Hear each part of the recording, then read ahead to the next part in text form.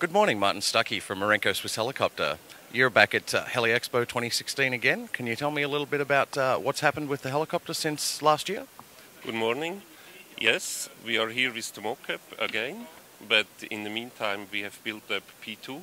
We flew it last Friday. It was an extremely successful first flight, so we are very proud that we get the P2 into the air, and even better, we got it in the air and all the changes were successful.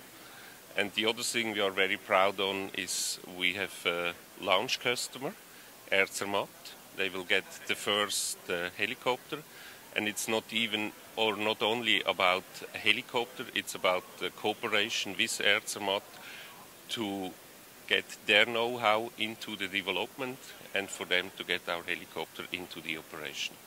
It's a very important uh, sale for you, uh, you guys, as far as having uh, a launch customer that's actually in your home country and uh, that does all of the missions that would highlight what this aircraft's been created for. Correct?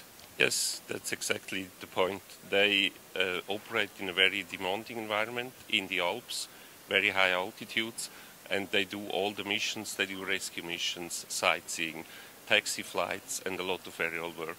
And that's exactly the operation where we designed the helicopter for. What we're showing here is the five seats in the cabin.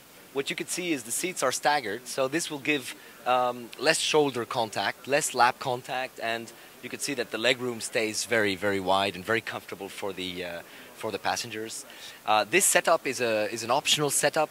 What the client gets uh, with a baseline aircraft, he gets four seats in a row, but he does get the rails on the floor to be able to install this uh, seating arrangement. So basically, it's only a, a one seats that the air, that the client has to take to make this um, interior possible. So this is a, an additional option that we've developed. So you have here two options. You have the uh, regular mirror, uh, which will uh, give you a view onto the load, and the belly mirror that will give you the, the view onto the um, uh, cargo hooks.